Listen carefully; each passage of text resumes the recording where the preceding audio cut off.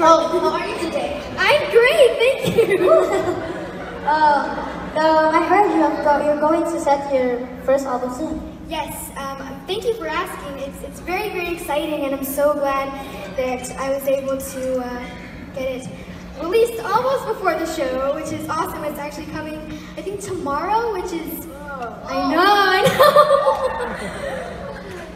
yeah. Yeah. Can you speak Tagalog a little bit? No. I can't. I'm sorry, I know I'm like a little bit like.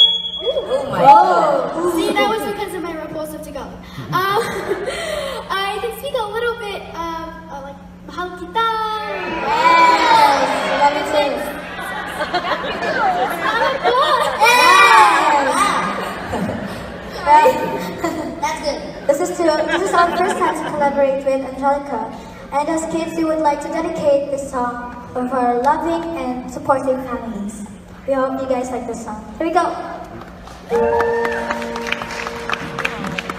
If I should